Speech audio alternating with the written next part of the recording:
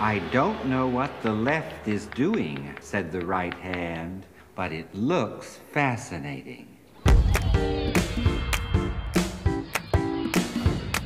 James Broughton was a trickster. He had a way of getting at the serious by focusing on the silly.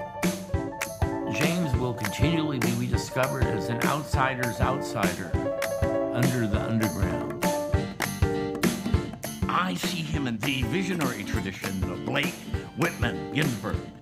I have the God. I have the God in my mouth.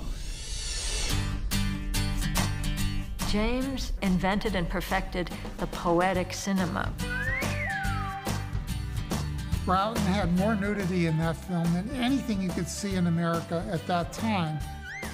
The counterculture goes crazy over this movie, so it goes gangbusters.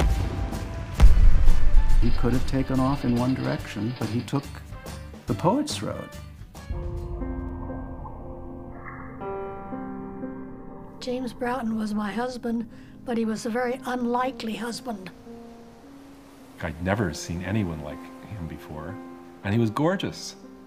We went to bed for the first time, and my life changed, and so did his. Outnumber the hawks, outdistance the angels. Love one another or die. I think Big Joy is a perfect name for James, and he seemed to be saying that it's quite simple. Just let go. I think Broughton was all about finding great happiness in a world of horror and terror.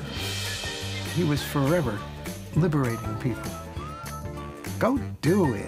Make your own kind of mess. Follow your weird. Do your odd thing. I believe in ecstasy for everyone.